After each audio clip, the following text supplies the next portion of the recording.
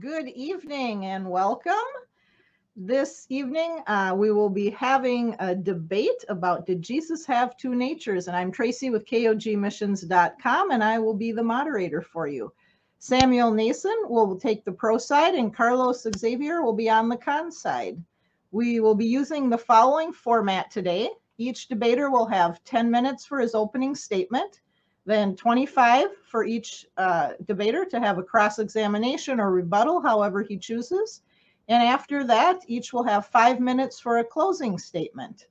Then we will end with 15 minutes of questions from the audience. And if you are in the live audience, as we get closer to the end, please type out all your questions in all caps. It helps us to see the questions when we're scrolling through. And please do write to whom it is addressed, whether it's Samuel or Carlos. And we will try to get to as many questions as time permits. If you're asking a lot of questions, pick your best one because if there's a lot, we'll only be taking uh, one question from each person to make sure we, everyone gets a chance there. So this evening, Samuel Nesan will be presenting his opening statement first. Samuel is the president of Explain International, and apologetic ministry that operates in Malaysia, US, Kenya, and Fiji. He has a THM in apologetics from Southwestern Baptist Theological Seminary and a Master of Christian Studies at Seminari Theoloji, Malaysia. He is also an adjunct lecturer for Malaysia Baptist Theological Seminary, where he oversees the apologetics program while pursuing his PhD in apologetics at Southwestern Baptist Theological Seminary. So, welcome, Samuel. Glad Thank to have you. you. back with us. It's a joy to be with you. Thanks so much uh, for moderating this, Tracy. You're welcome. And uh, when I jump off, you can begin your opening statement. When you're ready, I'll pull up your PowerPoint and then I will put a two minute warning on the screen to let you know how much time is left. And then I'll be back on after that time runs out. That works for me. All right.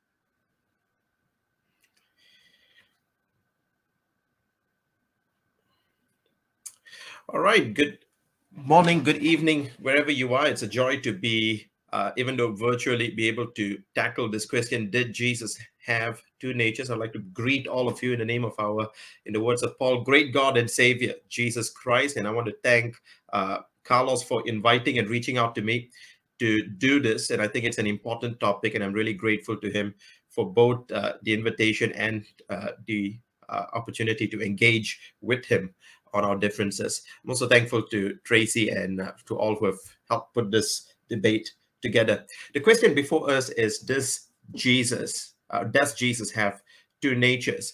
And it boils down, I would argue, to one question, uh, or at least two questions. The first being, can God become flesh? Well, John chapter 1, verse 14 indicates that he can. It also means that when we ask the question of whether God can become flesh, we're asking whether God can be, quote, born in the likeness of man, as Philippians 2 7 describes it, or whether God can be sent, quote, in the likeness of sinful flesh, end quote, Romans 8, verse 3. So if the answer is yes, which scripture teaches, then the next question we'll need to look at is how would that look like? What would it look like to see God becoming man? Would that mean that he loses his deity to embrace humanity? Uh, well, some people thought so. Uh, the kenotic uh, theory, which has been condemned as a heresy, certainly believed that. Uh, would that mean that uh, Jesus uh, or God would have to mix humanity into his divine nature? And again, many people in church history believe that. We call them the monophysites. Um, and Apollinarius is just one of the many who would fall into that view? Or would it be that he would have to assume humanity while retaining his deity? And that's what Christians throughout the ages have always believed. Now, it's important to point out that this is where the, this is the focus of the debate. If you want to look at where the debate is going, the question it boils down to is can God become man? And Carlos believes that that cannot be the case, uh, as he will tell you. And if, if I've misrepresented him, I really uh, want would love for him to correct me on that. Uh, Carlos believes that God cannot become man, contrary to what the scripture teaches, uh, and hence he is forced to reject all three possibilities in section two, which how, how would that look like? Uh, he would reject, uh, he been also consistent with rejecting that he's also going to have to reject all of the explicit passages of scriptures that call the man, Christ Jesus, God. He would have to do that in one of two ways. He would have to do that either by claiming that the text is ambiguous, uh, and often citing scholars that will tell you that you can't know what the plain meaning of scripture is, or he would have to do that by demonstrating that uh, or outright altering the plain meaning of the text so that it actually looks as if it says the exact opposite of what anyone reading it at face value would take it to mean.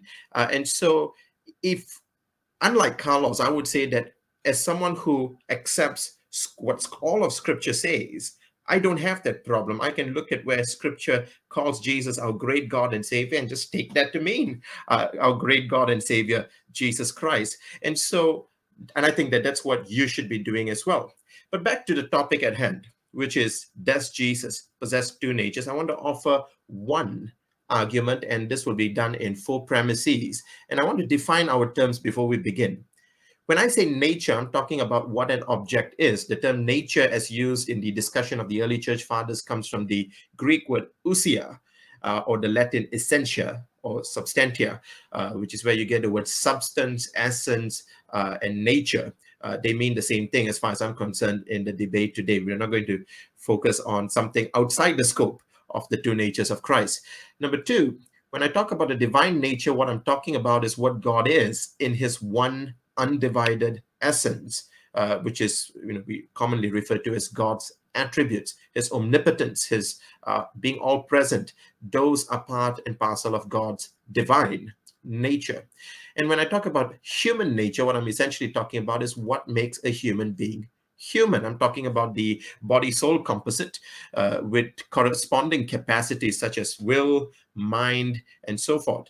And so these are the key terms that is important to define beforehand. And I hope that Carlos and I agree on these definitions as we go on.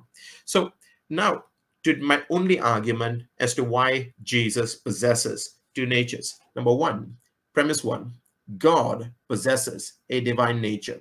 We see that plainly uh, in the text of scriptures in passages such as Romans chapter 1 verse 20 which tells us quote his divine his eternal power and divine nature have been clearly perceived uh, end quote so God has a divine nature and it's not just that he has it it's been perceived by humanity ever since the creation of the world because God has revealed that divine nature to us. Uh, in Second Peter 1 verse 4, uh, the Apostle Peter tells us that we may become, quote, partakers of the divine nature, having escaped the corruption that is in the world because of sinful desire, end quote. So how do we become partakers of the divine nature? Well, Paul tells us that we do that in Romans chapter 8 by being in Christ. And so we'll explore the implications of that hopefully in the rebuttals or the cross examinations. But the point is, and I don't think Carlos would disagree to this, that God possesses a divine nature. Uh, premise two humans possess a human nature.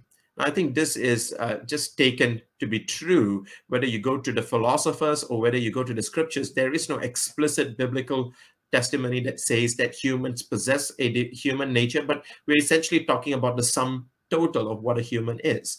And the Bible tells us, for example, describing what it means to be a human, that uh, God has, quote, made him a little lower than the heavenly beings and crowned him with glory and honor, end quote. So there are plenty of descriptions in the Bible that tell us what the human nature is and what the human nature is not.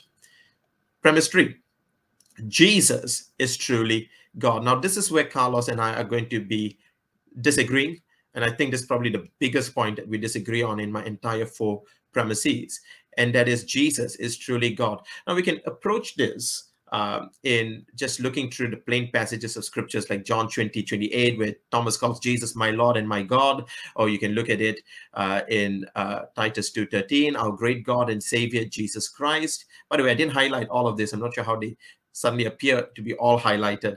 And I highlighted the place where Jesus is called God. Second Peter 1, 1, Peter calls Jesus our God and Savior, Jesus Christ. In Jude 1 5, uh, Jude tells us that he wants to remind us, although we once fully knew it, quote, that Jesus, who saved a people out of the land of Egypt, afterward destroyed those who did not believe, end quote. And so Jesus is the one who saved the people out of Egypt in the place where Exodus tells us that Yahweh, the God of Israel, saved them out of Egypt. So we can take the plain passages of scripture, face value, explicit, to mean that Jesus is truly God. But I do want, because the topic is on the dual nature of Christ, I do want to go to Philippians chapter 2, verse 5 to 8, and show how God, in choosing to uh, condescend to his creation, took on the human nature.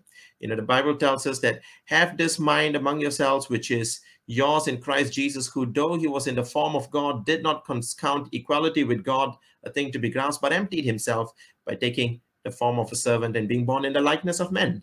And being found in human form, he humbled himself by becoming obedient to the point of death, and even death on a cross.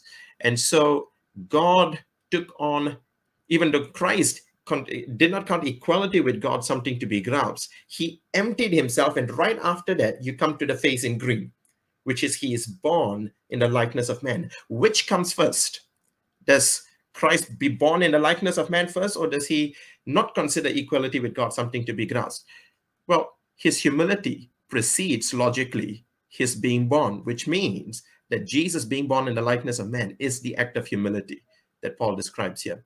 And so, therefore, Jesus is truly God. Premise four, Jesus is truly human. We don't have enough time to get to this, but scripture plainly tells us there is one God and one mediator between God and man, the man, Christ Jesus. And so when you put all of these together, God possesses a divine nature, humans possess a human nature, Jesus is truly God, Jesus is truly human. It follows, therefore, necessarily and inevitably, that Jesus possesses two natures. That's the scope for today's debate, and I want to stick to that. And uh, let me just see how many seconds that I have uh, left. Uh, well, 15 seconds. In the last 15 seconds, let me just quote Hebrews 1 3, uh, which says that Jesus, quote, is the radiance of the glory of God and the exact imprint of his nature. And he upholds the universe by the word of his power after making purification for our sins. End quote. Colossians 2 9 says, For in him, the person of Christ Jesus, the fullness of God, or the fullness of deity, dwells bodily. And we'll explore what that means later. Uh, thank you. I pass the time back to our moderator, Tracy. Thank you, Samuel. And next up, uh, Carlos will have his opening statement. Carlos Xavier grew up agnostic before converting to the non Trinitarian Christian point of view in 2006. He lives with his wife in Fayetteville, Georgia, and currently works for Restoration Fellowship as the online media manager. He has hosted notable evangelical authors like J.R. Daniel Kirk, Larry Hurtado, and historian Richard Rubenstein, and debated apologists like Dr. Jonathan McLatchie, Al Garza, and Anthony Rogers, as well as Matt Slick. So, welcome, Carlos. Good evening. Thank you, Tracy, for moderating, and thank you, Sam, for getting up early there in Malaysia. you are very welcome. And Carlos, uh, you may begin once I jump off when you're ready. All righty, thank you.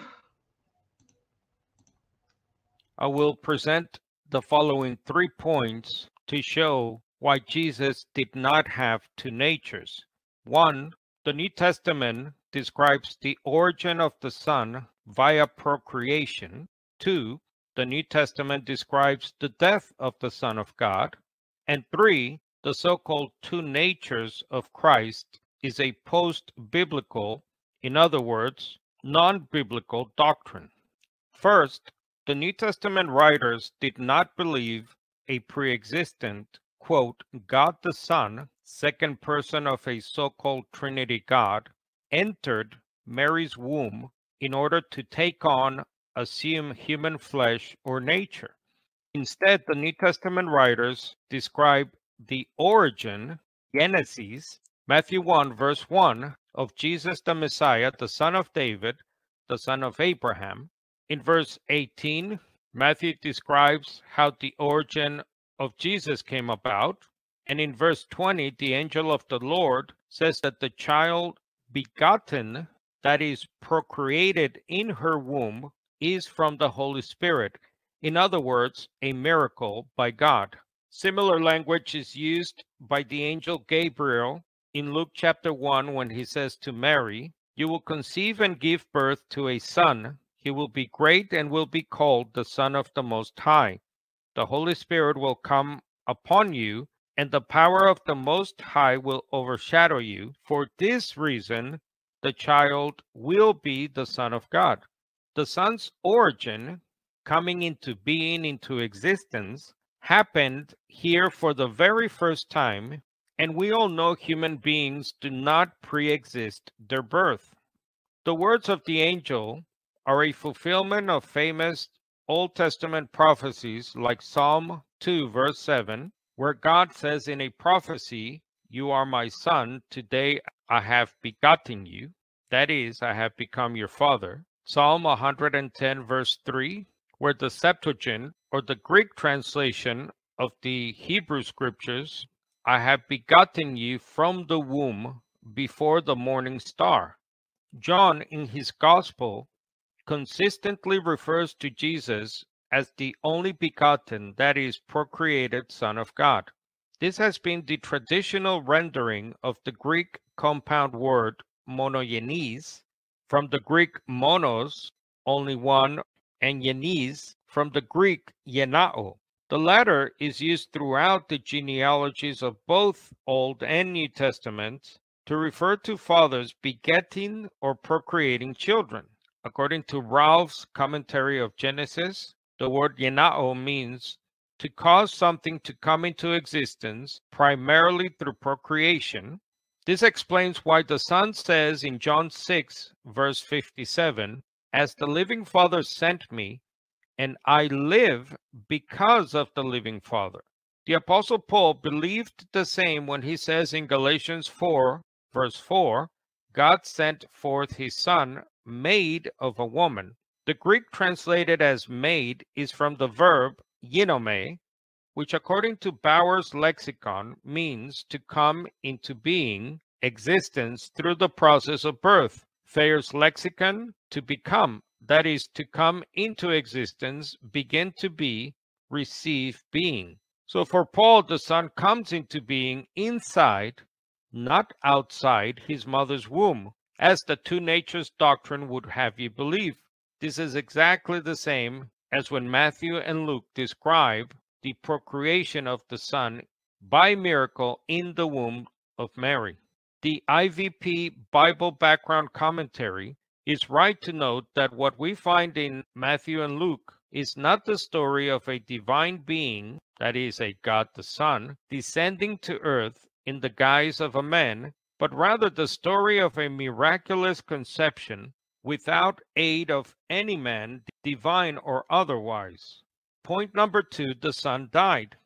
In Romans 5:10, Paul says, "Once we were God's enemies, but we have been brought back to him because his Son has died for us." Romans 8:32, "He who did not spare his own Son, but gave him up for us all." Galatians 2:20, "The Son of God who loved me and gave himself for me. In other words, the Son of God died for Paul, and by extension for all who believe he is the Messiah of God.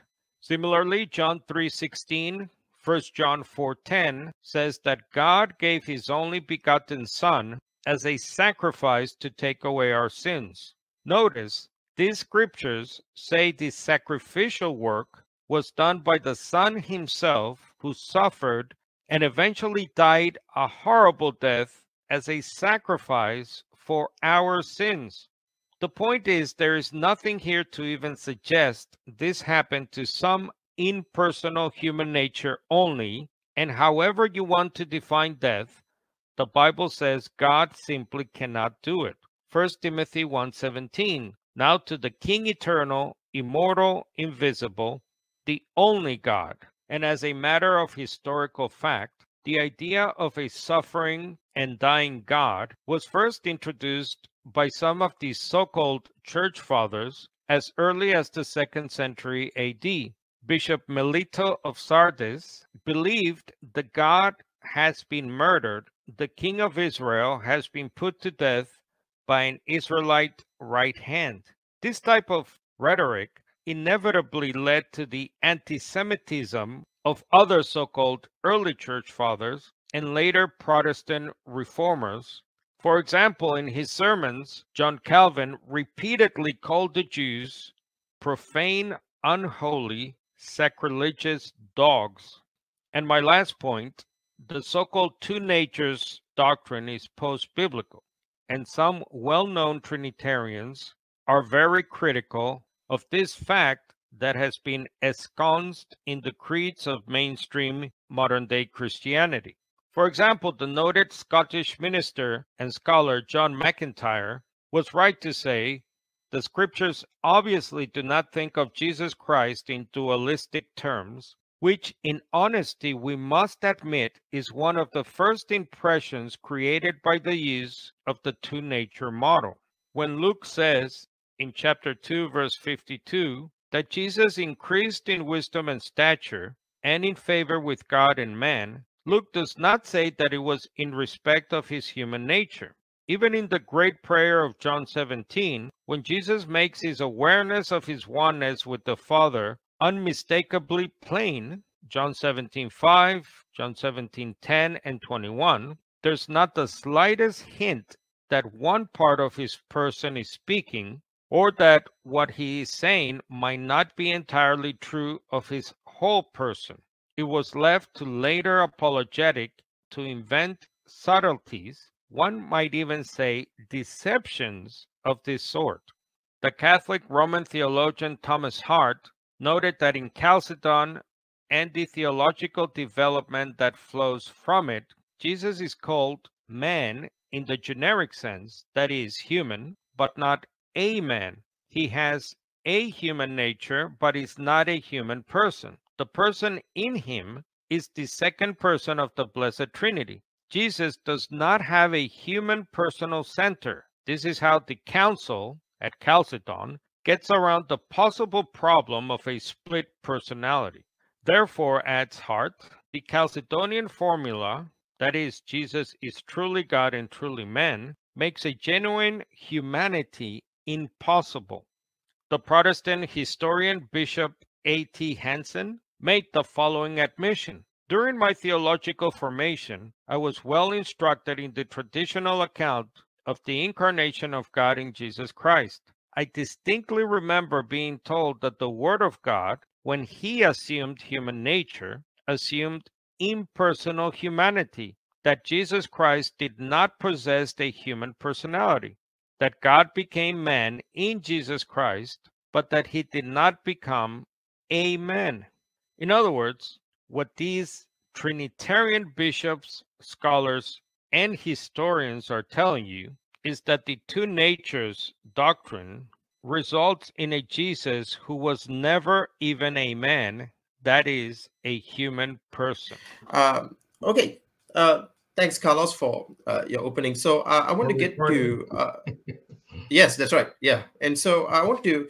Uh, I want to actually uh, tackle because I when I when I heard your opening statement, I nothing you said actually engaged uh, with uh, my opening statement at all. So and and again, it's not meant to. It's your opening at all. It's your opening statement. So, but the point that I want to maintain is this: in my opening statement, I presented. Uh, let me pull up my, my notes again so that I can quote exactly what I said. Uh, I presented one argument that Jesus possessed two natures.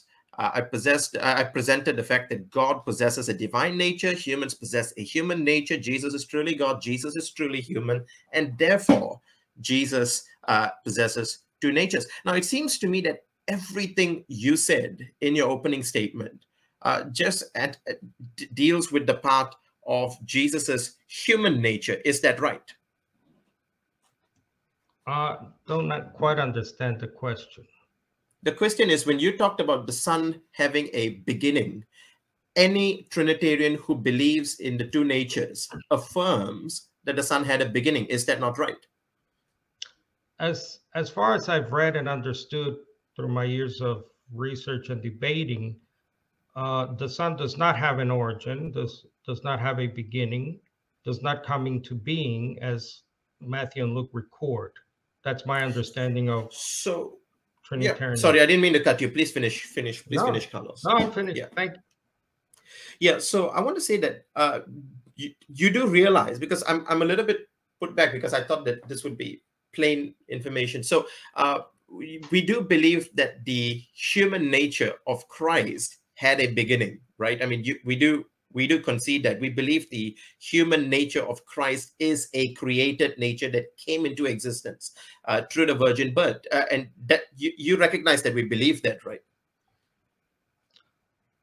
I yes, I recognize that the the two natures of Christ or the hypostatic union is prefaced uh, on the idea, on the Chalcedonian idea, which came, by the way, more than 400 years after Christ, that uh, God the Son, the second person of the Trinity, uh, added or assumed or took on. I read different variations of that uh, human nature. But the point of my opening, in case it was not clear, is that I'm relying on Matthew, who talks about the origin of Jesus, the Messiah, period, not the origin Oh, of a human nature. And I'm relying on Luke's account that specifically uses son language to talk about how the son Yes. comes into being. Right. So here's the thing. Uh, I mean, so you you you would be would you would you help us explain your understanding of the communicatio idiomatum? No, Uh, do, do you, could you define what the communicatio idiomatum is?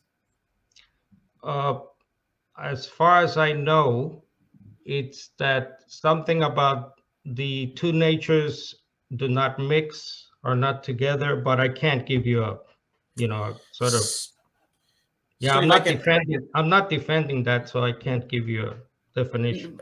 No, I, I realize that, Carlos, but the thing is, I do believe that in order to uh, engage with, for example, what we believe concerning the person of Jesus Christ, um, and especially when you say that he is born, uh, a, a basic understanding of the communicatio idiomatum would basically settle that. So I would like to maybe ask if that could pull up my slides uh, again. Uh, Tracy, is Sure. that possible? Uh, all right, thanks so much, Tracy. Yeah, okay. So uh, the communicatio idiomatum simply means that, and I'm, this is the second point, what is true of each nature is true of the one person in that the word united himself with a complete humanity and this was dealing with the question that you asked me last night for me uh, which is did jesus assume a humanity uh, or did jesus assume uh, body or both? I, I presume you're talking about the controversy between the antiochian uh, and uh, alexandrian christology. Uh, but the point is that what we believe here is that Jesus, the one person of Jesus who is divine, who was divine, took on the human nature. I'm going to give the biblical references in just a minute. And when he takes on the human nature, both of these the communicate the communication of the attributes takes place so that both of these natures become whatever is true of each of these natures are true of the one person. In other words, is it right to say that Jesus was born?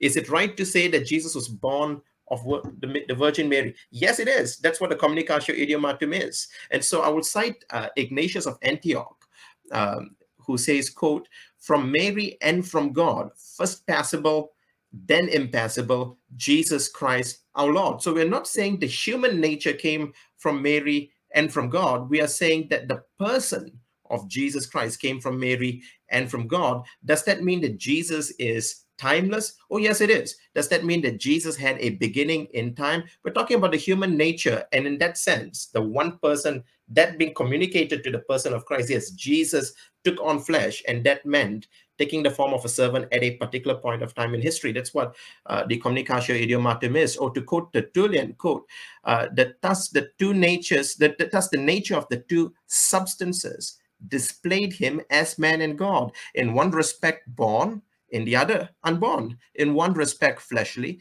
in the other, spiritual. And and I and in one respect, uh, okay, I, I- for some reason I can't see that. Uh, it's blocked out. Uh, in the other, exceedingly strong. In one sense, dying. In the other, living. And so this is Tertullian on the flesh. He was responding to Marcion, the Marcion heresy. And so my point is, Carlos, and maybe this, I'll phrase this in the form of a question because this is both rebuttal and cross-examination. Uh, when you understand that, uh, and when you understand that the both natures are communicated to the person, the one person of Jesus Christ, uh, do you not fail to understand why every single one of your objections actually just just disappears? It doesn't affect it at all because we do believe that that's something not that came in Nicaea. That's something that Ignatius of Antioch, who is a disciple of the Apostle John, is saying. Um, all I can tell you is what Matthew and Luke say, and they uh, say nothing close to what you're what you have on the screen. Now, these are quotes again from people who are not firsthand witnesses, who are this is all extra biblical stuff, post biblical stuff, Yes, which doesn't right. necessarily mean it's wrong, but Yes. obviously we have to test it in light of scripture. So all I could say to the uh, communication properties, uh, it's a it's it's amusing to me, and I don't mean this in a disrespectful way, but it's Sure. amusing when you keep saying how simple it is and how clear it is. Well, Mhm. it's not simple. First of all, anyone reading what you have on the screen is is is not simple. Uh, the Ignatius quote is interesting. So he's first passible, then impassible. So he has a beginning and he does not have a beginning. He is uh, some. but but uh, not to cite sorry sorry carlos i'm gonna because i think we're sidetracking here uh, the question that i asked just to repeat that again uh, is do you not see why this would in this is essentially what we believe and it doesn't even come to the council of nicaea this is actually early christology directly from the fathers that come from post apostolic period this is what they already teach it's not me misunderstanding uh, you know what the translations are saying not realizing the culture in greek or hebrew uh, but rather this is just what the christians have always believed and even those who are acquainted with the apostles you're right it is unbiblical tradition i mean extra biblical tradition but this is what we're saying and my point is whatever you said about god dying god being immortal whatever you said about god having a beginning uh, or, or, or rather jesus having a origin gennao uh, well uh, the the the the, uh, the genealogy part in genesis in matthew 1 1 all that is resolved it's a non-issue right that's i was just asking whether you, you recognize why it's a non-issue in light of I this think I think you're overstating the historical aspect of Christianity as a whole. There's a reason why there were hundreds of councils in the first 300, 400 years of the Christian faith. There's a reason why there was so much violence, murder, and, and mayhem between so-called Christians. The, you know, so you, I think you're overstating your case when you say this has been what we have always believed since we call ourselves Christians. Well, that's just historically inaccurate, and it's wrong. that- that's not but, the but case. that's not my question but that's not my No. question carlos i would appreciate it for No, the third time i'm, trying to get to the same question the- I'm responding to the overstatement of your generalize generalization of early Christianity. Maybe, uh, again, Carlos, with all due respect, you can respond to that. Uh, if there's something you disagree with the way I overstated it, you have a rebuttal period to deal with that. Uh, I just, because I've, I'm short on time, I just want to get you to, to say that, do you realize that everything you said is just resolved by the communicatio idiomatum? It's as simple as that. That's, it's just a simple yes, no question because I just Well, want to ensure to help. I want to just, I I just one second. I just want to help our viewers who are listening to this realize that every single one of your objection uh, just doesn't work because of a very simple thing that and my point is not that uh, I'm, I, I if you if you want to argue that it's an overstatement that's fine you can do that in the rebuttal my point is this it is not something post Nicaea it's something we find in the earliest period of the apostolic times and not to say that makes it true I'm not saying that all I'm saying is something that we have from the earliest times if just taken at what they mean resolves what you brought up do you or do you not realize that is what I'm trying to get at Right. And I keep going back to what Matthew and Luke have to say, and for people to read the words of Matthew and Luke. So and what does Matthew say? Uh, if you could summarize in one sentence, Carlos, what does Matthew and Luke say? and compare them to what you have on the screen. So Matthew talks about the origin of Jesus the Messiah, period. He doesn't So say do- this is the can I finish? Go. Yes, please. Yes, please. Sorry. So Matthew is not saying this is the origin of the human nature. Luke similarly, and Luke uses specific son language telling us that the child in, in Mary's womb will be the Son of God. So again, they have nothing uh, comparable to what you have on the screen and what what you have been taught. It, it only speaks in terms of the one individual, one person, Son of God, Jesus the Messiah, his origin, Genesis, one beginning, one absolute beginning, and his how he comes into being in the womb of Mary. That All is the Son of God according to Luke. Yes. So do you do you think that we believe again? I think I'm trying to help our viewers realize that essentially whatever you're saying, we don't disagree with. Uh, is is the point? If you're if you're listening to this, guys, and you're wondering why I keep pressing Carlos on this point, is because I I, I mean Carlos is going to have his entire time uh, in the rebuttal to respond to what he perceives to be an overstatement from me uh, and all that. But I want you to to realize that nothing of what he's saying, we fully agree. You, Carlos, you just said that nothing uh, you, that is stated in Matthew and in Luke, um, you know, for example, correspond to what I'm saying here. My point is this: the okay, let's just look at Tertullian. Simple one statement. Tertullian says that the two natures of the substance displayed in him as man and God. Him is one person, in one respect born, in the other unborn. Do we believe that the person of Jesus, the person, not human nature, not divine nature, the person, the second person of the Trinity, Jesus Christ, was born? Do we believe that, Carlos? Yes or no? I believe what Matthew and Luke believe that he had a Uh, Genesis. He's Carlos, I'm not. he's- Carlos, I'm sorry. I have to press you. Carlos, I'm so sorry. Well, Carlos, can I'm I so sorry. answer? You asked me a no question. you're not you're not Okay. I, i've asked i've asked you a very simple carlos i'm trying not i'm not i don't want to interrupt you at all but i want you to answer my question my question is is do we believe that the person of jesus that is not the human nature divine nature distinction the person of jesus. Do we believe does tertullian believe that jesus the person was born? Yes or no? Matthew talks about the beginning, the origin, not just the birth of Jesus, the Messiah, the Son of God.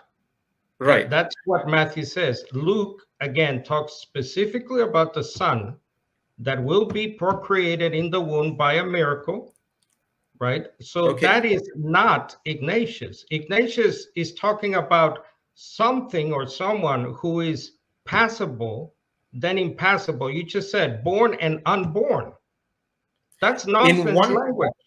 It's in one respect born, in one respect unborn. Now let me go. To, you said there's no scriptural But reference. Unborn, So unborn it- is nonsense language. Can you It- agree with it's, me? it's- uh, could you repeat that again, Carlos, please? you said that you you're interpreting Ignatius passible then impassible as someone who is born and unborn. I'm saying that's nonsensical. Can we agree on that? Uh, I would say that you can ask me that during the cross examination, but I would just respond to that by saying just because you do not understand something does not make it wrong.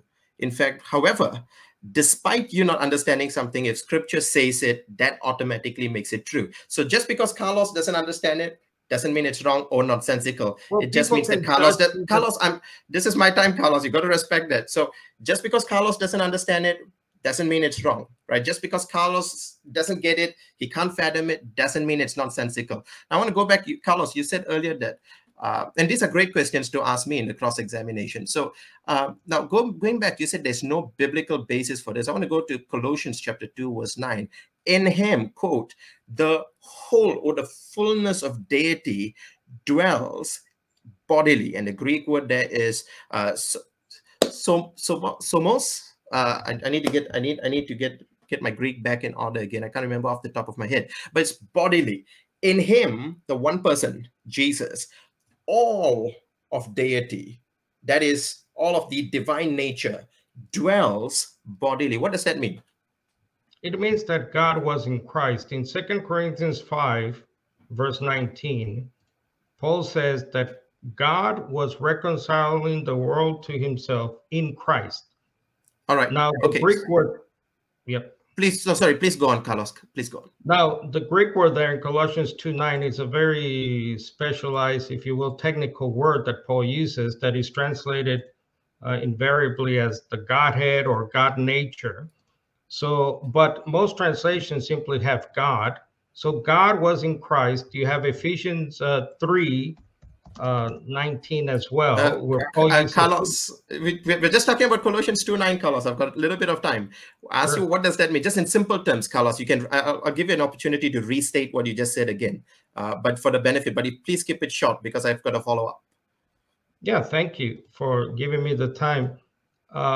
Like I said, it to me it means what Paul means in other places, like Second Corinthians 5:19, that God was in Christ, which means that if you see Jesus, you see the Father, God the Okay. Father. All right. So I, I, I it's it's really interesting that you would say that. So do you we as Christians we believe that God is in us?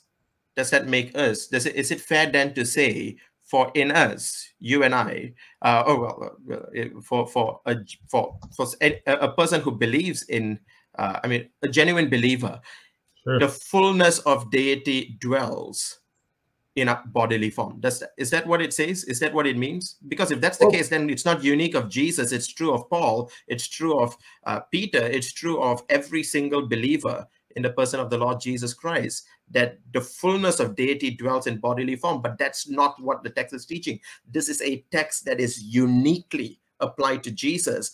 In what way will this be a unique application to Jesus? In a way that it is not applicable to us, Carlos. I agree that God was in Christ in a very unique way. I agree with that totally.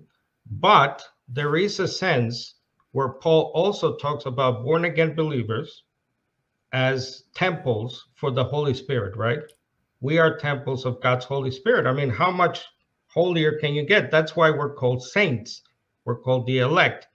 But I agree with you, Sam, that God was in Christ in a in a unique way, unlike us. That's I'm not saying when- God was in Christ, Carlos. I'm not saying God was in Christ. That's Well, I'm not, quoting that's not that's not what the text means. I'm quoting That's not Paul in what Second. Corinthians five nineteen, which I think that's what he means in Colossians I'm- two nine. So I- no, no, I no, no, no. So I believe. Okay, just to okay, guys. I want I want you guys to catch this. I believe everything that Scripture says. I believe God was in Christ. Trinitarians believe that it's called perichoresis. It's the mutual indwelling of God. The Father is in the Son. The Son is in the Father. I don't deny that.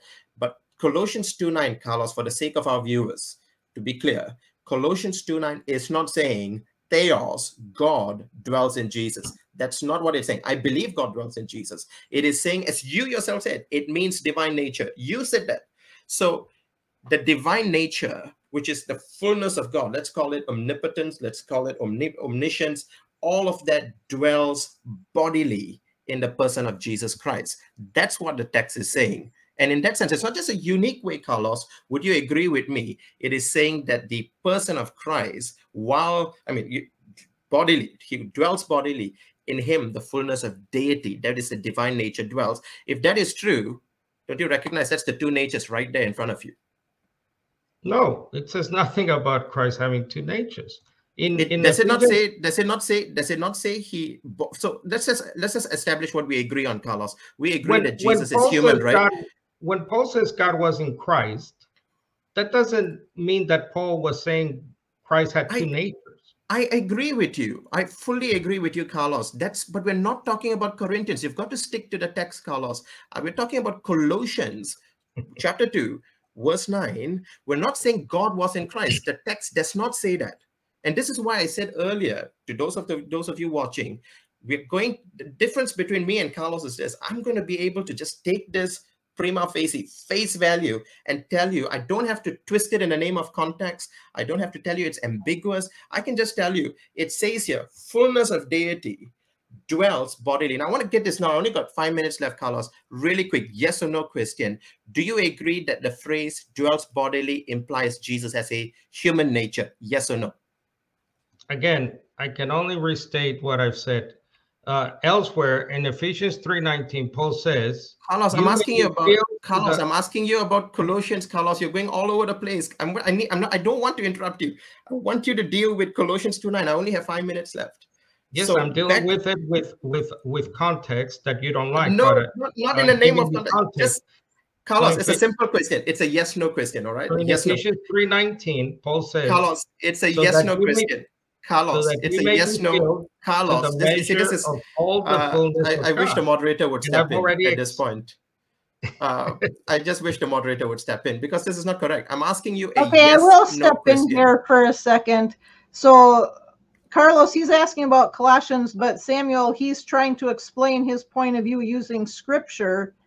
And so I guess we can Uh, either Others- stop at my- that my- point about Colossians or you guys decide how you want to Uh, do it. my, my, my question is a yes no question. Is this dealing with the day the, the, the I mean that, does Carlos agree that when it says dwells bodily, Jesus has a human nature? Does this Again, text teach to me, I don't think from what he believes he can answer that in Yeah. with that. well, I'm trying to Okay. answer, but I keep Yeah. getting cut off. I answered it at first, but you don't like the answer. I believe what. Paul is saying here is that God was in Christ, and he says it in a similar way in other passages. And if I may finish the verse I'm trying to finish, Sure, Ephesians do that. 3:19 is a good parallel for people to study in connection to Colossians 2:9 because in Ephesians 3 verse 19 Paul also says he wants us Christians to be filled to the measure of all the fullness of God which is similar language that he uses here it is about it is Christ. not similar language at all. And this is this is exactly why uh, i told all of you uh, at the start that carlos is not going and again i don't blame carlos for this. He's doing the best that he can. I'm just simply saying that when you don't allow script you come with a tradition that god cannot become a man automatically you're going to have to reinterpret all of these texts to mean something that they don't mean uh, and i'm going because of we're not getting anywhere with the cross examination i'm just going to take my remaining two minutes uh, to um, as a rebuttal before I pass the time off to Carlos. And this is this. So I, I, I want to sum for viewers here. I want to go back to my, my five points here. Does God possess a divine nature? Yes, I, there's nothing that Carlos has said so far that would deny that. Maybe Carlos is going to challenge that in his rebuttal period. Uh, I, it would only be fair to wait for him to do that. Uh, number two, uh, humans possess a human nature. This is taken for granted. Okay, we, we can take that for granted. That, that that is the case. The Bible gives us descriptions about what the human nature looks like. Jesus is truly God. Carlos uh, again uh, would deny that, but uh, I would love for him in his time to deal with the passages that I brought up that explicitly teach Jesus is God. Not my interpretation. Explicitly teaches that. Finally, Jesus is truly human. Now, I want to share for our viewers why was I pressing Carlos just now really hard. I was doing that because I want to at least as uh, and by the way, I, I, I respect Carlos uh, and I and I love interacting with him, but unfortunately, he's not engaging with a simple question. Does I mean? So Carlos is going to say Colossians two nine is not teaching you that that that the the the two natures. He's not. Now, if you frame it that way, sure, it's not. But if you accept what it says that Jesus, uh, the fullness of God dwells bodily, which is what it says. Let's go to it. Dwells body. That's the human nature right there. You're talking about body you're talking about uh the you're talking about a human being and on the one hand you're talking about the divine nature now i didn't use the word divine nature carlos did he says that this can mean divine nature that's simply what i'm saying it talks about the human nature dwelling fullness of the divine nature dwelling bodily in him one person and if you just allow the text to say plainly what it says you've got the two natures right there Um, let, let me rebut a little bit of the fullness of deity there. So yes, uh, Ephesians 3.19, to know the love of Christ that surpasses knowledge, so that you may be filled up, you Christian, you may be filled up to all the fullness of deity, the fullness of God. I mean, that's almost verbatim from Paul. And what that simply means is that the desire of both God the God and Father of our Lord Jesus, is that we as Christians, like they as Father and Son, may be one. Now, this is obviously not to be taken in, in a too literal way. This is what you know what you may say is spiritual speaking. And a, a good passage to go for that is the so-called high priestly prayer of Jesus in John 17. He says, I am not praying only on their behalf, but also on behalf of those who believe. In other words, people like us in the future, that they all be one, just as you, Father, John 17, 21, are in me, I am in you. I pray. Jesus the Son, by the way, praying to the Father, who is the only true God in, in verse 5. I pray that they will be in us so that the world will believe that you send me, and so on. I in them, verse 23, you in me, that they may be completely one. So that is the desire of our Lord Jesus that we are one. In First John, uh, what is it? First John chapter one, he talks about the same thing. Uh, uh, sorry, John. Uh, he talks about how we are to have fellowship with both the Father and the Son. So, for uh, First John one verse three, uh, it says that so that you may have fellowship with us, and indeed our fellowship is with the Father, with His Son, the Messiah. So I I, I think uh, that is what Paul is talking about there. Um, let's see. So uh, at one point in your opening, you said, "Can God become flesh?" And you said, "Yes." John 1, 14. Well, uh, again, this is not a, a, a, debate on John 1, on the prologue of John, but John 1 14 does not say God became flesh, like God, the, the only God. It's talking about how the Word of God becomes flesh. The Word of God. The Word in the Old Testament is not a separate, distinct person apart from God. It's one of the qualities of God, the Father, of Yahweh, Jehovah, as is known in the Old Testament. So that's not saying God became flesh in a literal, strict, uh, so called Orthodox way, as Trinitarians believe. It's about God's plan, God's word, the, the eternal word of life, as Paul calls that in his own commentary in his first letter of John. The word of life, the one that started everything, that create oh, the what is it? The Psalms psalmist says, By the word of the Lord, the heavens were made that is what is coming into the world and taking up residence, if you will, in the one unique, procreated human Son of God, uh, the Messiah, Jesus.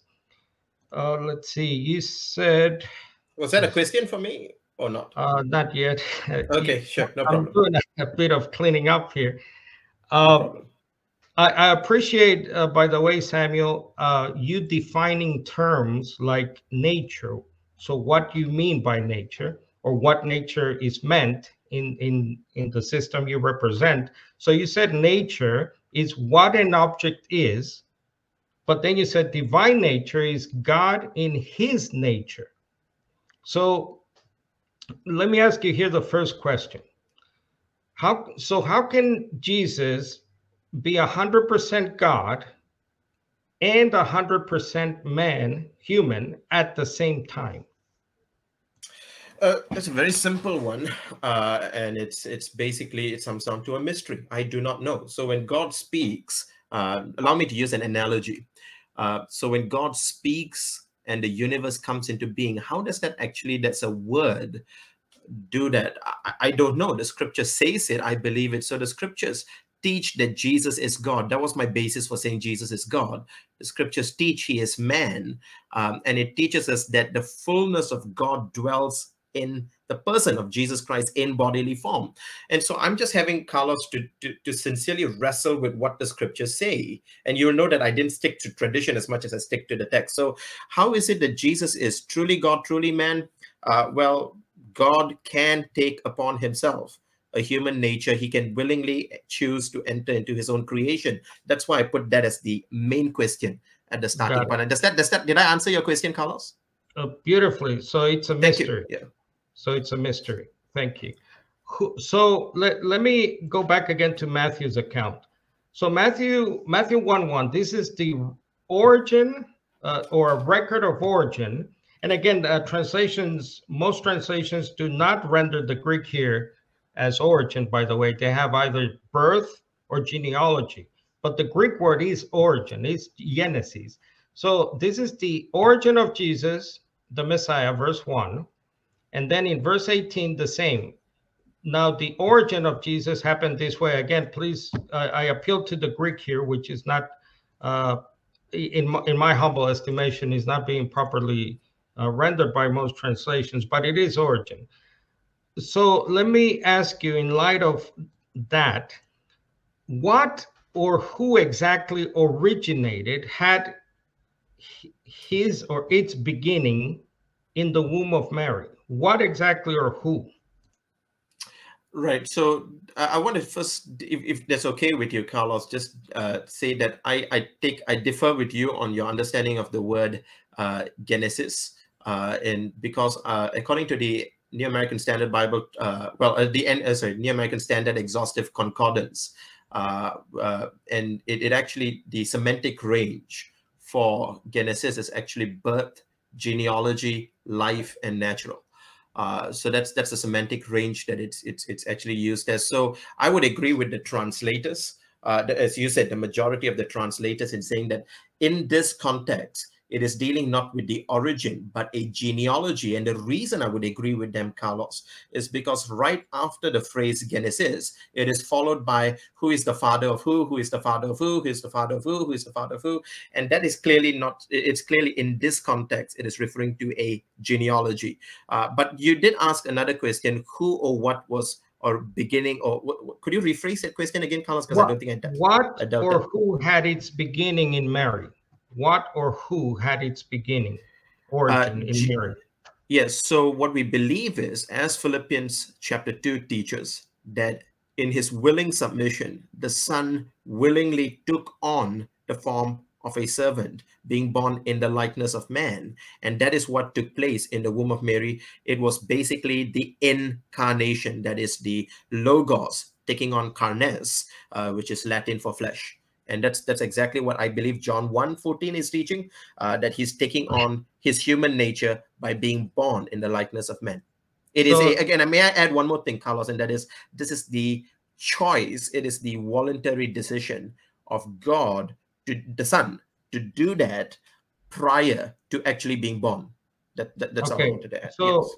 so a human nature uh, originated in the womb is that what you're saying yes, I, I, would say that he. I would say that yeah, since Jesus has two natures, his human nature uh, is derived from Mary. Yes, that's why he's born of the Virgin. The Virgin birth is so important. Okay, so so Mary gave birth to a human nature. Is that a fair assessment? No, in light no. of the idiom, idiomatum. I mean, I, I, mean, I don't. I wouldn't disagree with that. I, I would. So I would just phrase it a little bit differently, Carlos, because the sure. moment you say the, and I'll tell you why I would phrase it differently. Because the moment you say Mary gave birth to the to a human nature, you're treating the nature as if it is a person. And as you pointed out, thanks for being so appreciative, by the way. Uh, as you pointed out, I took pains to distinguish between the subject of the nature, that is the personhood.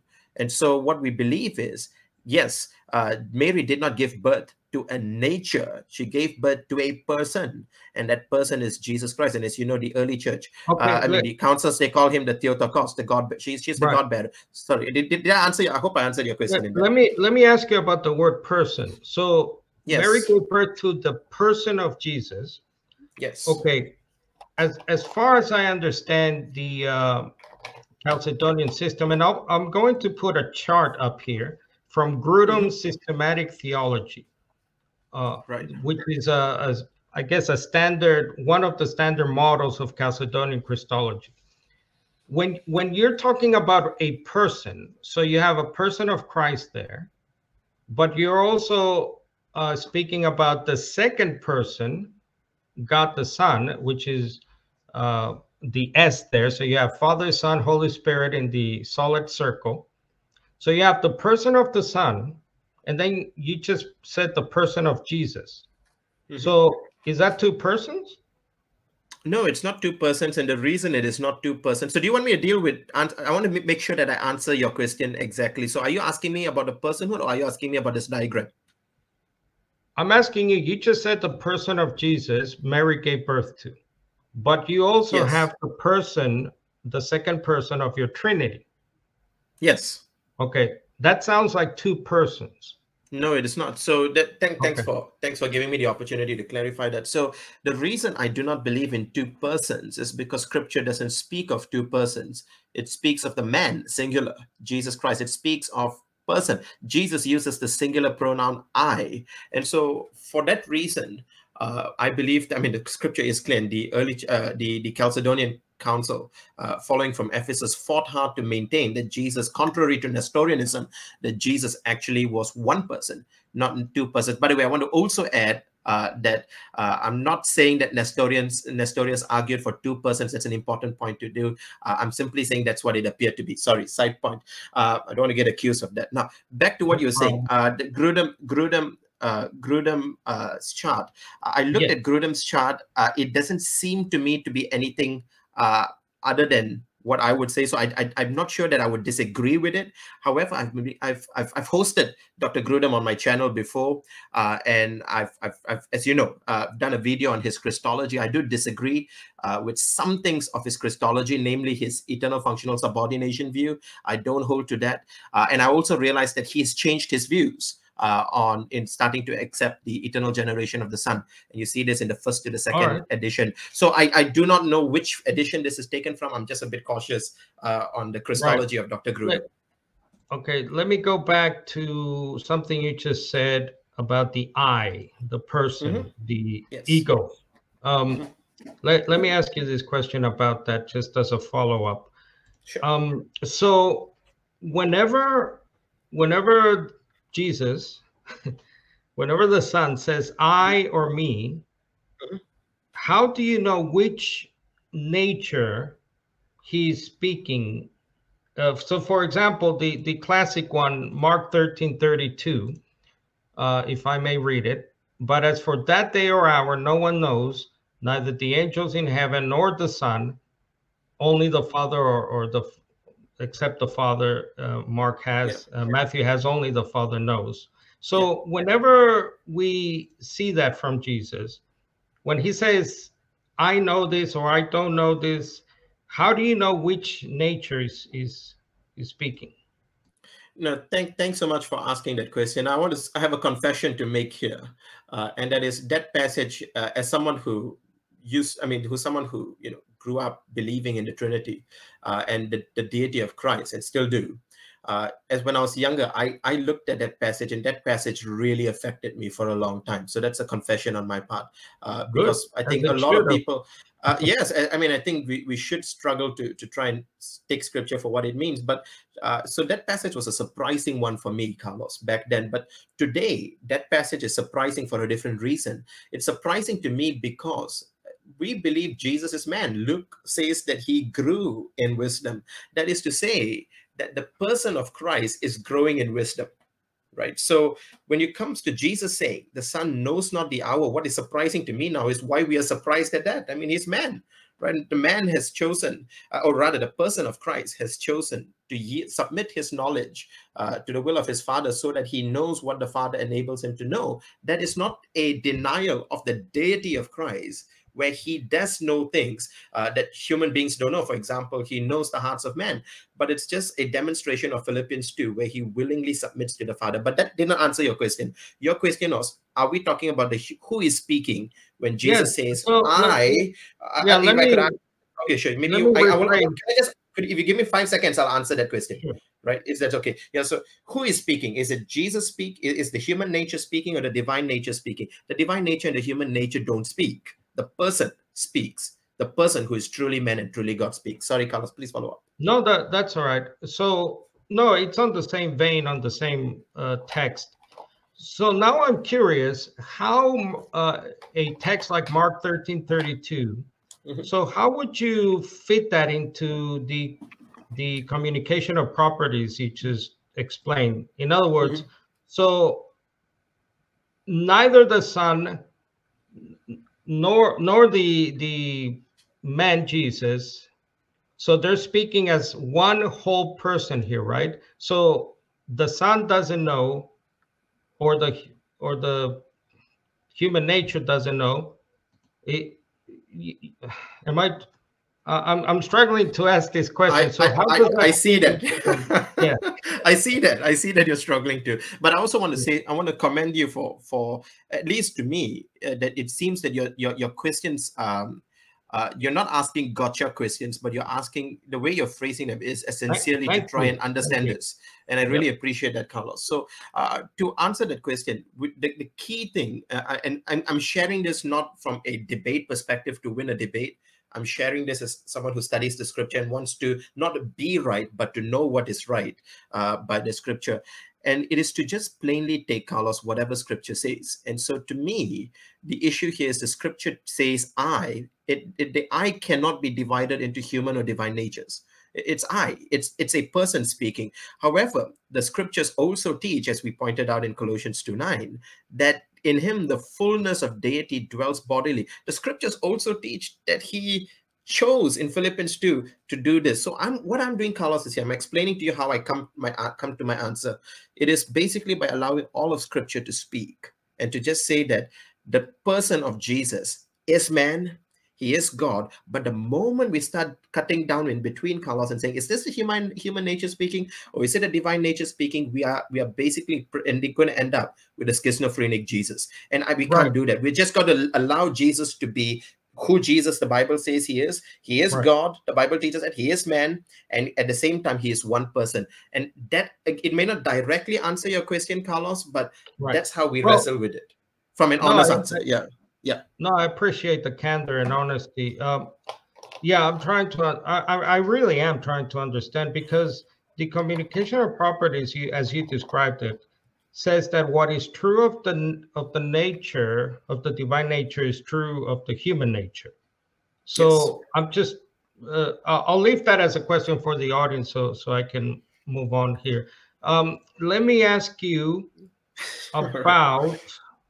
Okay, Philippians 2 obviously is very important in this with this topic as as you presented in your opening. So let me let me see if again this is I'm really trying to to understand and through me Yes. hopefully the audience can also you know in their own come to their own understanding. So Philippians 2 uh, says things like he did not consider equality with God something to be used to his own advantage. He was in the form of a slave. He humbled himself by becoming obedient to death. He was exalted by God. My question is Is this passage describing the human nature only? Or I, I, I think I know your answer because you hold to the communication of properties. So is this describing you know the son as well is is the question. So did the son consider himself not equal with god? The son was in the form of a slave. The son humbled himself. You, you know what i mean? No, absolutely. It's such a good question. Um, and uh, yeah, so and and to go back to the text, the text doesn't say just a slight correction. The text doesn't say that the son did not uh, did not. Uh, I don't know how you phrased it just now, but I disagree with the way that you phrased it. well, Uh, well, the- if i may what's true Yeah, sure. of what's true of the human nature is true of the divine nature yes, I agree with that. Yes, Right. so I'm talking about Paul- Philippians two. Right. So when Paul says he did not consider equality with God, he was in the form of, of a slave. He humbled himself. He was exalted by God, or super exalted, as the Greek reads there. Yes. He emptied himself. So if if how how do you explain that in light of the communication Sure. of properties for the divine? Yeah. Sure. Then- So yeah, the, the phrase that you said that I was saying that I I, I would disagree with the way it's phrased is that he did not consider equality with God, uh, whereas the text in it it fully says did not count equality with God a thing to be grasped, which means that uh, uh, that he did not cling on to it he let it go and so my, my the way that i would understand this carlos uh, and i think that it's just at plain reading is that he is equal to God. He does not cling on. Now, bear in mind the context. I just taught, uh, I think last week in my church, I preached, I mean, I, I taught on Philippians chapter 2 uh, from Philippians chapter 1. And so the whole thing is dealing about Christian submission. You know, the Philippian church was having a little bit of a squabble there between uh, a couple of women uh, in there. And so what is what is happening here is that Paul is saying that the way the Christian model is this you must have this mind, which is yours in Christ Jesus. And he's talking to about how he's using this model to talk about how two equals in church should deal with one another just as two equals in heaven, uh, which is the Father and the Son, are, are, are you know are, are, acting. So Jesus is equal to God. It says he did not cling on to that equality, but emptied himself. Now, the emptying of himself is not kenosis, where he ceases being God, but by taking on a human nature, or, or rather, the, to use the phrase of the, the, the words of the text, by taking on the form of a servant, being born in the likeness of man. And this is where, to answer directly your question, Carlos, I believe number one, that the emptying of himself that did not considering equality equality with God takes place prior to the incarnation, before he is born in the likeness of man. So that this is a willing decision by Jesus, who is equal to the Father. That's what the text is teaching. And now he has given, emptied himself. Now that he has emptied himself, verse 8, he is being found in human form. Now that he's done that, he's humbled himself by becoming obedient to the point of death, death on a cross. And so your question is, is this speaking about the human nature or the divine nature? It is talking about the person of the Son as you rightly said, idiomatum, uh, communicatio idiomatum, taking on this so that the one person is being obedient, the one person is dying on the cross. And so it is right to say that the second person of the Trinity died, as Tertullian did and uh, as uh, as uh, Ignatius did. So, so God the Son died. Yes. God the Son was born. God the Son was hungry, and so on. Got yes. Uh, one last question. I think I have time. So you you're a Trinitarian. You believe God is three persons in one nature, one essence. Uh, correct? Yes. So, yes. Okay. So now, uh, and just for the last question, I'll put the chart back up. So now that the Son has two natures, human and divine, uh, how has this uh, not changed the Godhead, your your your conception of the one God Trinity, the Godhead. How how yeah, how's this not a change to the divine nature or essence, as you call it? No, I just want to say that that's such a good question because rarely in debates of uh, this topic, especially on the deity of Christ, do you actually get to deal with the issues that do matter. Uh, and I think that's a this is an issue that does matter. Is there a change that takes place in the and the, the, the, nature that scripture itself calls immutable, unchanging. Uh, and if so, that contradicts scripture itself. No, and so I would say that, that there's no change eh, because scripture says there is no change. There cannot be, and there is no change in the divine essence, or the divine substance, or the divine nature. What we're simply seeing is an addition, not a modification of the divine nature, as uh, the Monophysites teach, as Eutychianism teaches, or the Apollinarians teach but it is it is basically a addition where so an, an, addition but no change. Addition not modification. So the okay not, not change. person takes on a human nature yes. Last one. Uh, i think i i got one. Um, if so uh, yes or no do you agree that the trinity is three who's in one what I've, I've heard Nabil Qureshi put it in that way. I always thought it was, um, you know, I mean, I, it, it's I don't disagree with it, but it, it can be an oversimplification. Right. right, because because you don't believe obviously in in three persons in one person. So, uh, so I, I don't, no, I don't is, believe in three persons in one person. Yes. Right. Right. Uh, so the question is, so the Son has two natures, but it's one person. Yes. So if the Trinity is three persons in one nature, is the Son two whats in one who? If you follow my yes, my no, I, I, again that again now now you it, it's I love the fact that you asked first. Do I do I consider uh, do, what, do, what my thoughts on whether he's three who's in one what because the fact is that I, I think that's an oversimplification for this precise reason uh, and so thanks carlos for helping uh, people realize why you know it's it's it's helpful sometimes to phrase it in that way but uh, taken sure. to its logical conclusion it, it becomes you, you, see the problem. But no uh, good question. So does uh, is jesus two whats uh, in one who? Uh, again that's an oversimplification. What we are simply saying is the two natures which is the sum total of god and what it means to be truly man basically united not confused in the one person of jesus christ. That's simply what it means. So to say that god has one nature means that god is you know all the divine attributes god is love god is truth god all of those things are now communicated to the person of Jesus, and at the same time, what is man is communicated to him. Now, God doesn't have a human nature, so one nature is what God is. God is one nature. So uh, again, I I I, I can realize I can understand why people would struggle with that uh, to understand it, but it, it's actually basically if you go back to my definition, uh, a nature is what something is. So Jesus is has two somethings. You know, he has a human nature, it's a divine nature. That's simply what we're talking about here.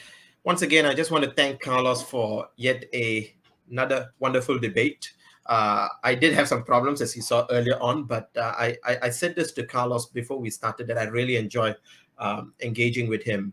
And one of the reasons is that we, when especially when you get to the cross examination and the discussions, I, I hope that our viewers have seen that, uh, at least on my part, I'm trying my best uh, to do what, with what the deal directly with what the scripture says, not to dodge, not to win the debate, uh, not to try and argue for the sake of arguing. And I hope that, and I, I clearly see that in the cross examination, that Carlos's questions were not uh, meant to try and trip or, or, you know to trap, but a sincere attempt to try and understand the other side. And for that, I really want to express my gratitude uh, to Carlos and to our moderator as well for this wonderful debate. I want to my closing statement go back to my opening statement, which I I said that. Uh, I'm going to contend that the the way that we're supposed to understand this debate uh, is the question of whether or not God can become man. And I have demonstrated all throughout that God not only can, but that God did 2,000 years ago in the person of Jesus Christ. That is why the virgin birth is so important. It's important because Jesus is not merely man, that's not all that he is. He is God who became flesh. And so, uh, to summarize my argument, I presented one main contention that Jesus possesses two divine, uh, two natures, a divine nature and a human nature. And I argued in four premises. Premise one, God possesses a divine nature. Uh, and so I, I, I, am still convinced that Carlos agrees with me on that. Uh, number two, humans possess a human nature. Again, I'm convinced that Carlos agrees with me on that. Number three, Jesus is truly God. Uh, again, this is where Carlos and I would disagree. Hopefully, not for too long. Uh, I will be praying for Carlos. Uh, and uh, but uh, the, the point is that uh, all of the texts that I brought up for Jesus's deity were not engaged. And so I would say that we've, by the grace of God, sustained uh, this third point that Jesus is truly God. Number four, Jesus is truly man. I, don't think Carlos would disagree with this. I tried pressing him in the cross examination to, to, to, to state whether or not he agreed because I thought it would be a point of agreement. I, I'm, I'm convinced that he would agree that Jesus is truly man. And so when you put these four things together, the conclusion is that Jesus did possess two natures. He possesses a divine nature, he possesses a human nature, and that is why we go to Colossians chapter 2, verse 9, which says, In him, the one person, the fullness of deity, the whole fullness of deity, all of what it means to be God, dwells bodily. And this is why we believe in the doctrine of the two natures. Let me sum conclude uh, by quoting uh, of the uh, uh Pope Leo the Great, he's called Pope Leo, uh, Leo the First. Uh, he says, "quote As God does not change by his condescension, so man is not swallowed up by being exalted. Each nature exercises its own activity in communion with the other. The word does what is proper to the word. The flesh fulfills what is proper to the flesh. He is God in virtue of the fact in the beginning was the word, and the word was with God, and the word was God. He is man in virtue of the fact that the word was made flesh and dwelt among us. Uh, he also goes on to say in that same document to pay the debt of our sinful estate, a nature that was incapable of suffering was joined to one that could suffer.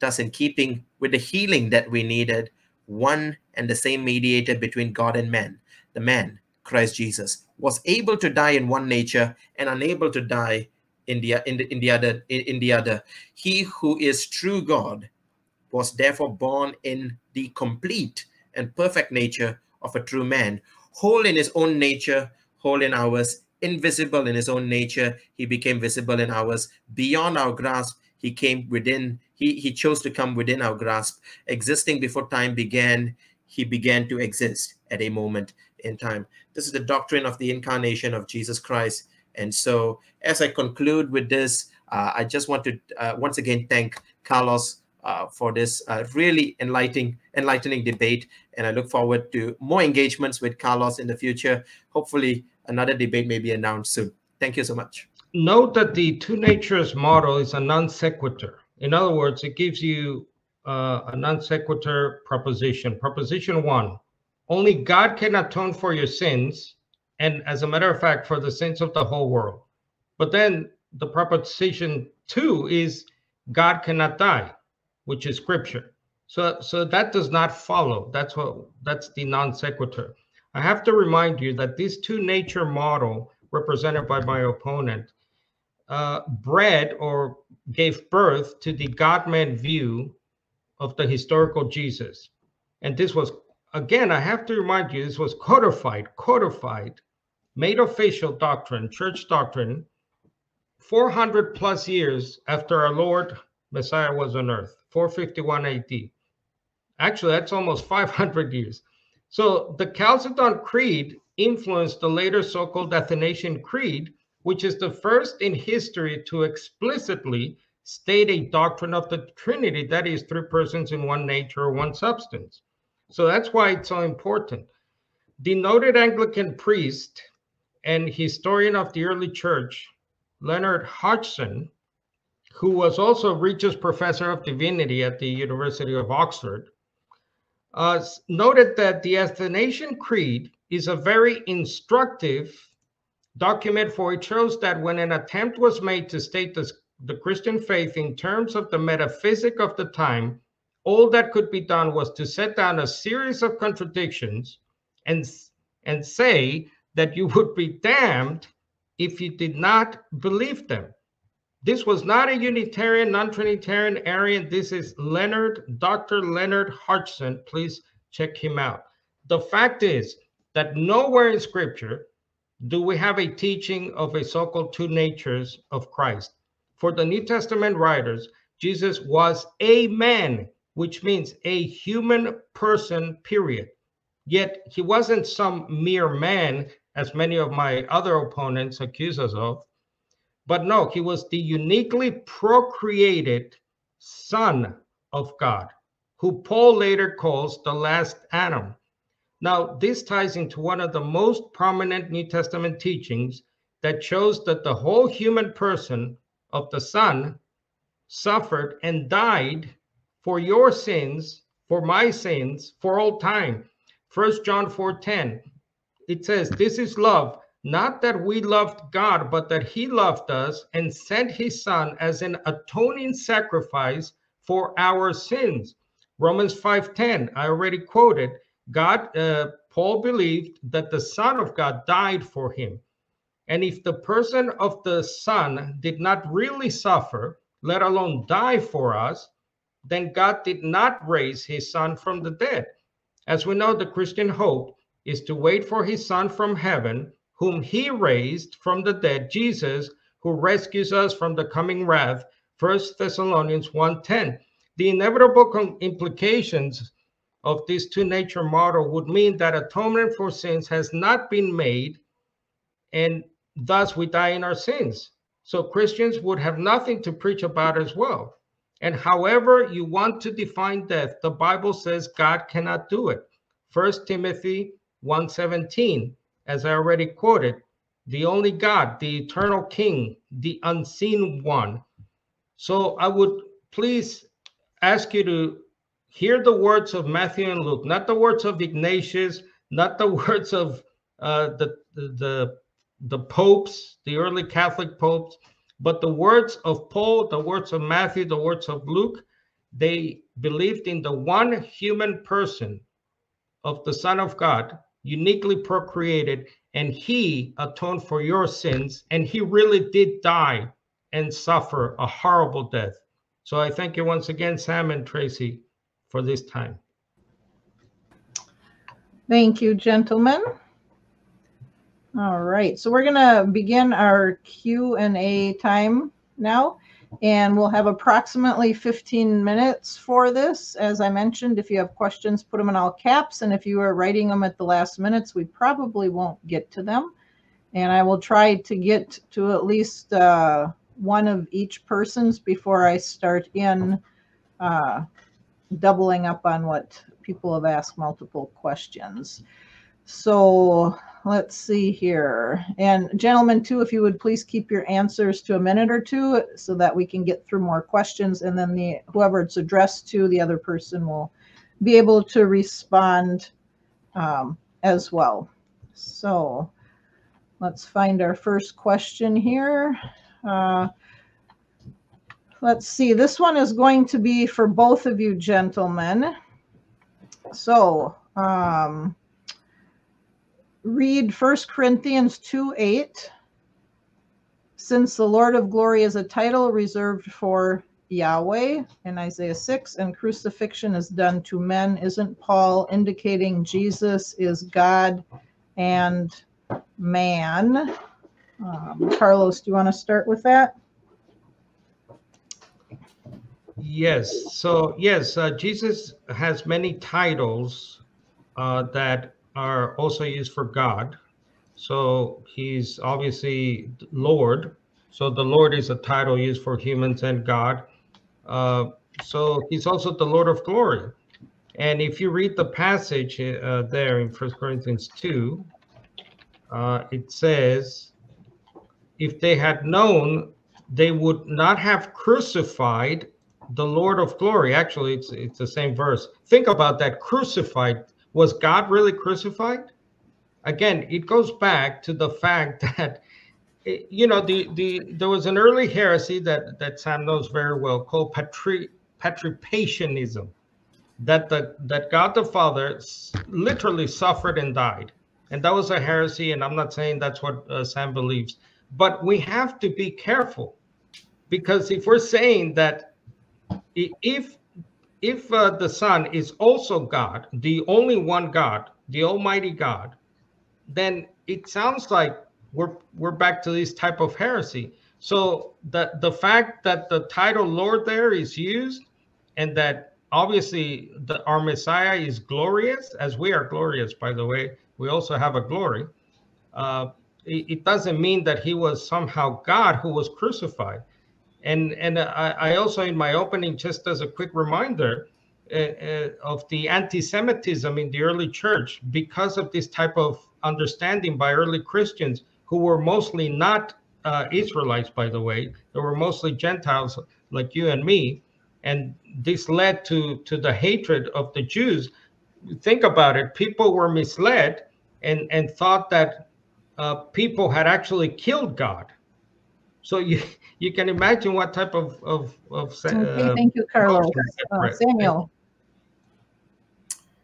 Thank uh, yeah. Uh, so I just thanks uh, for that question. That is really, really um, a good question, and the simple answer is yes. Um, yes, the Lord of Glory is a title that is used uh, for Yahweh, and it's uh, the crucifixion is something that was done only a man can do, and so the immortal God took on mortality, as Philippians chapter two pointed out. And Jesus, the person, Jesus, the second person of the Trinity, died uh, in flesh. And so uh, I think that again, and but going back to Carlos's uh, response, I, I again, I, am not here. To, I, I don't want to uh, criticize Carlos because I really, really like Carlos, and I think that he's a great person. Uh, but the point that I wanted to say is that his tradition blocks him from just being able to take scripture at face value. And this is what I was saying at the start. Can God become man? If the answer is yes, uh, then uh, you take First Corinthians 2 8 and you can read it at face value. They would not have crucified a Lord of glory if they knew it. And I think that's what I can do. Unfortunately, Carlos will not be able to do that. He would have to reinterpret it. All right, thank you. Um, we're going to try to keep our answers shorter if we may, because uh, Samuel needs to leave in about 10 minutes. So, uh, hint, hint, Carlos and Samuel. Yep. yep. Sorry. our, our, next question here, because we would like to get to at least a few of them. The people sure. have questions for y'all, and they, they sat through this. So, um, if Jesus, this is uh, to Samuel, if Jesus, God the Son, has two natures, how many natures does God the Father have? One nature he did not become flesh. So he only has one nature that is the divine nature. How's that for a short one? That is short. Great, Carlos. You have any short comment on that? Yep, I agree. All right. All right, thank you. So um, here's another one for Samuel here. Uh, you said that Jesus is one person because he uses the singular pronoun I. Why doesn't God using the singular pronoun I mean that God is one person? Well, because G- and again, uh, this is the same question that Carlos asked me in the last debate, uh, and I mentioned to him that there is one speaker that speaks on behalf of the Triune God, and when he says "I," that is sufficient to refer to the Triune God. They speak in in, in a united voice, uh, and so that that doesn't pose a problem whatsoever. Because again, I don't believe that all three of them are talking at the same time. I believe that the Son reveals the Father so that Jesus can say, I. We're talking about Jesus. If the Father speaks and he says, I, he refers to the Father. If, well, uh, the Holy Spirit would say in the book of Acts, set apart for me, uh, Paul and Barnabas. And so it's a singular pronoun as well. That doesn't negate the fact that God is three persons because scripture teaches that the Father is God, the Son is God, the Holy Spirit is God. They're not the same person. All right. Thank you. Yeah, um, if I may quickly add, Mhm. uh, some Trinitarians like to use the "let us" verses, Genesis one twenty six. So let us uh, create man in our image. So if plural pronouns, which are only a few, what is it, three or four, the "let us," if if plural pronouns are always used by some Trinitarians, you haven't used it here, to prove that God is a plurality of persons, you have what is it tens of thousands of singular you know nouns pronouns verbs so why can they prove that god is one single by the way non-human person thank you Okay, thank you. Um, here's another question. Who is Jesus's God that he refers to in John 20, 17, and why did he call the disciples his brothers in that verse if indeed he is their God? Samuel. Thank you. Thanks for the question. It's a good one. Who is Jesus as God the Father? There's nothing wrong in God the Son calling God the Father God. I mean, he's not an atheist. Uh, Jesus is not an atheist. He believes in God. And at the same time, in Hebrews chapter 1, verse 6 to 8, you read that God the Father calls Jesus God as well. Does that mean that God the Father has his own God?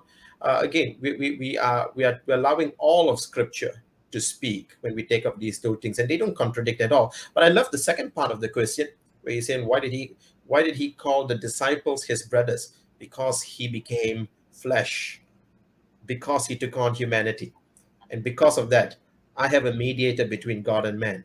That mediator is the man, Christ Jesus, who calls me his brother. What a great privilege the gospel gives. Okay, thank you. Carlos, you have a short answer there? we're the brother of our big brother the human jesus. We're not the brother of god in any way in a mysterious uh, way or in in some other way. So he's our brother. To say god is your brother again uh, it's it's close to blasphemy in, in my ears to to to say that because obviously you know god doesn't have brothers. And the other interesting thing is that uh, so the son is not an atheist but then if if you follow that that logic then the father who never has a god the spirit who never is said to have a god then they're atheists i guess so Okay. And uh, let's see. There's a lot of comments on here, so it's kind of, it's hard to sift through yeah yes, it is. Um, so I'm going to pull this question up. I want to keep it short, please. We've already gotten into this prior, so we don't have to dwell on it because I still would like to get another question or two in. For Carlos, how do you take First Peter 4 1, where Peter says that Jesus suffered in the flesh? Why the qualification? First Peter 4 1, because he did. Uh, flesh in the Bible, uh, in the Bible, in the New Testament. So Paul uses flesh in a, I could say, metaphorical way to describe the fallen nature of humanity, let's say. So he says in Romans 8, for example, do not walk according to the flesh. Here, uh, obviously, it's just a synonym for the person of Jesus. Since Christ suffered in the flesh, you also arm yourselves with the same attitude. And also, uh, there's also the, the same term is used for us too. We we suffer in the flesh, or we we uh, struggle in the flesh, or something like that. So it's just another way to talk about yourself. I think. Okay, thank you. Uh, Samuel? Uh, yes. Uh, so let me pull up my. I'm pulling up the screen. Okay. So the question is, how do you take First Peter 4 1, where Peter says that Jesus suffered in the flesh? I think that's a great question, Pablo. And that is the question to ask. Uh, why is it that it says in the flesh? Uh, as you know, the early church uh, heresies, one of them is Docetism, which denies that Jesus came in the flesh. Uh, Gnosticism denies in, in some parts, especially look at Valentinian Gnosticism, uh, that Jesus came in the flesh because the flesh is seen as evil. And so it's so important that scripture teaches us that Jesus not only died, but he died in the flesh, that is, in taking on his human nature, the immortal God is able to die. But I love the second question as well. Can uh, to comment on the view of the communicatio idiomatum? Absolutely, uh, and that means that the properties of what it means to be man is communicated to the person of Jesus Christ, the properties of God. Obviously, Jesus is God, is there as well. So that means you, it's not just sufficient to say that the human nature died, the divine nature didn't die. That's not what it means. It is the second person of the Trinity, Jesus Christ, died in the flesh, and that's why I love the precision of what uh, the, the text is right there. Okay, and our last question here. Uh, so Samuel, you said that, uh, and now again, that he died in the flesh. Um, what does that mean to you? That means he was able, the immortal God was able to die having taken on flesh in the incarnation. The word incarnation uh, is the taking on of flesh in the flesh. Uh, literally, incarnation is in carnes, in flesh. Uh, so that's that's what John 1 1 says. Uh, the word, uh, and earlier it, it Carlos says the Bible, uh, the Bible doesn't say that God became flesh. It says the word became flesh. Yes, right after saying the word was God. And so uh, the point is that God became flesh, and that flesh, in the flesh, the immortal God was able to die. That's what I meant by that. Okay, Carlos. Uh... Yeah, again, uh, this just has no meaning. That God died in the flesh. I mean, that again, you, you have to go back to those early heresies and I'm sorry to bring that up, but that's what it sounds like. I mean, uh, the we're brothers of God somehow. Uh, the text of just quickly in First uh, John, uh, First John four two. By this you know the Spirit of God. Every spirit that confesses Jesus the Messiah as having come in the flesh is from God. That's just a synonym, synonym, I should say, or a way of speaking of Christ as the person, the human person that he was and uh, the the failure to embrace the fact that the Son of God was a human person and not some second person of a divine nature that came developed hundreds of years later uh, is anathema in the New Testament. You you have to understand that the human Son of God suffered and died. The human Son originated in the womb, was procreated by a miracle, and that's I think what what First John four uh, 2 is saying. All right. Well, thank you. And I would, is it, I think we got done just in time, Samuel, for. If I, if I, sorry, Trace, just a cheeky comment about uh, uh, Carlos saying that, uh, you know, that it's blasphemous. I, I agree that it appears that way. That's why Jesus was charged with blasphemy. Uh, but I really enjoyed this. Thanks so much, Tracy.